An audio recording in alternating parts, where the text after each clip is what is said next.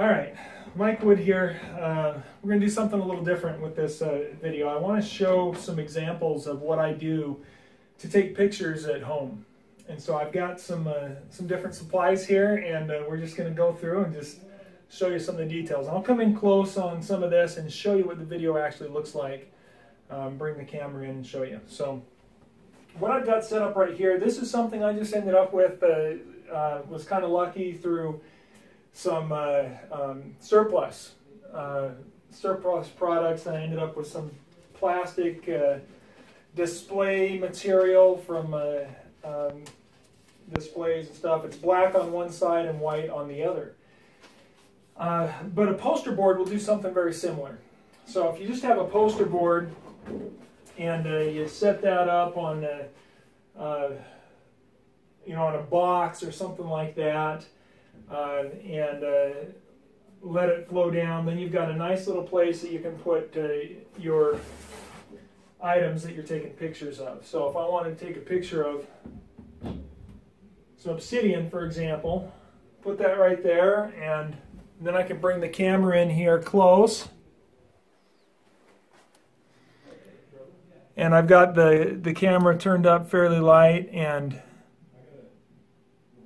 we can come in close to that, and so you can see, I you know, it just has a nice white background that will disappear, and then I can uh, crop that down, take whatever pictures I want, and do what I need with it, and I've got a nice, good picture. And this is all I've got for my setup. And uh, I'll uh, I'll go ahead and take a shot of that, and then um, put it uh, put an overlay of the image here, so you can see how good it looks. Um, with just a little bit of uh, of Photoshop or GIMP, you know, a little bit of editing. In fact, uh, um, you can do a lot of this. Uh, just brightness and contrast is really all you need with um, just something like uh, uh with eBay's tools. So there's one example. Uh, you know, we could throw uh, another rock in there, and you know, we've got the same kind of thing going on. Now that's a lighter item, so if I wanted to, I could uh, use the black side, right? So we could put the uh, black side of the poster board down and put the lighter item on there and come in and take the picture where we want it to. Now, if the lighting uh, isn't uh, doing what we need it to, we move things around a little bit until we get the picture that we want. And uh, I can come in here and and I'm just using my uh, my cell phone camera but uh, I can come in here and we can darken that. I can brighten it. So I can do whatever I need to. With this particular one I think we want it darker so that we can take a picture there. So I'm going to do the same thing with this one. I'll take a picture here and I'll overlay it into the video. So you can see what uh, I'm able to do with a little bit of editing in GIMP, and uh, I can work with that contrast and uh, and uh, work and whatnot uh, with the item. Now I also noticed something. This is just a piece of shell I found uh, out in the the Utah desert, and I noticed something on here that might be fun to uh, to put into the listing. We'll see if I can show it here, but it looks like there's a little bit of a fossil in there. And so that might be something that I'll want to show. So I can take a picture of it close up and show people, hey, there's a, a little miniature fossil in this rock or what appears to be a, a fossil uh, in the rock there. So anyway, if that were something that I was uh, going to list, then uh, that's you know something I can show them there. Uh, I want to show you a few other examples of things you can do. Get this uh, set back up here in the office, and I, you know, this isn't anything special. I, am not. Uh, my setup here is not professional at all. Uh, as you're you're noticing, this is nothing fancy that we're doing. Um, I'm just taking the materials I had in my car, like that stuff over there on my seat that I'm going to show you in a minute here. So you use whatever you have. Use whatever you have and make it work.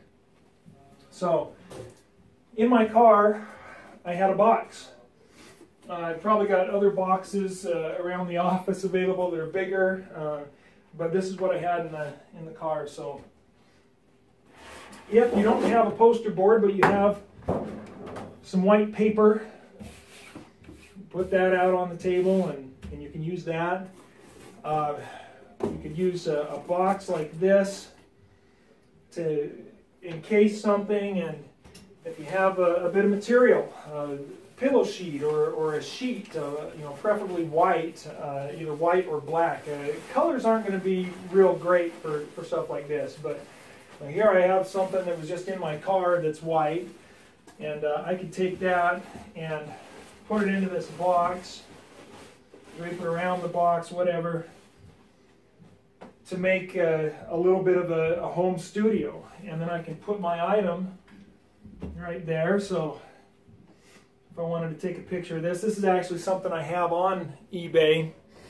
The Unbreakable Sunglasses Visor Clip that uh, is something that I want to, to start selling. And I found this uh, uh, available from the guy that uh, does my molds, my plastic uh, parts for my um, my knife sharpener, the Viper Sharp. And uh, he had these available from a, a mold that was abandoned. The people that uh, did it don't want to work with it anymore. And it's pretty ingenious. I just have to let the world know that it's there, and that slides over the, the visor on your car. And then this little clip right here uh, holds the sunglasses. And so stick it up on the car visor like that, and with one hand you can slide your glasses in and pull them out. Very convenient, very nice. Uh, you know, I thought, hey, I could sell that. So that's something I've put up on eBay uh, uh, as the unbreakable uh, visor sunglasses clip, and I'm going to be putting that up on Kickstarter. So there's another option that uh, we can work with, uh, just having a, a, little bit of material.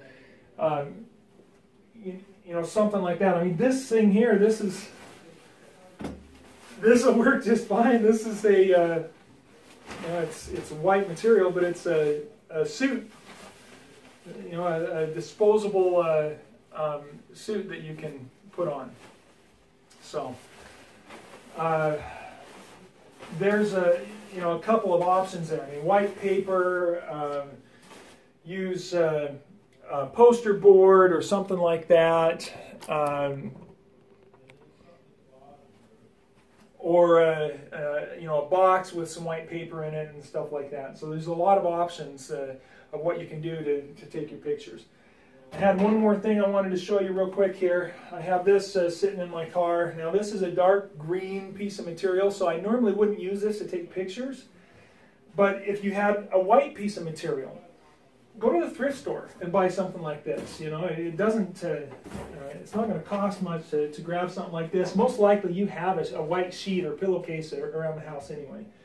But you can put that out there, put your item on there, and then as long as you've got contrasting colors, that's the thing that's going to make your, your pictures pop when you're taking a picture from home. So I'll show you that one real quick. And we'll just take a look uh, there.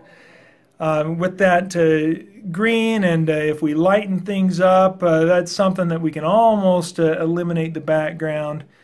Um, not quite the, uh, you know, not quite as as high quality as as I'd want. You know, not not quite like you'll get with a white background, but you can see there with a little bit of editing, that's not bad either. And and as we back out here and, and look at that and take a picture, it you know, it, it really can just about make that background disappear.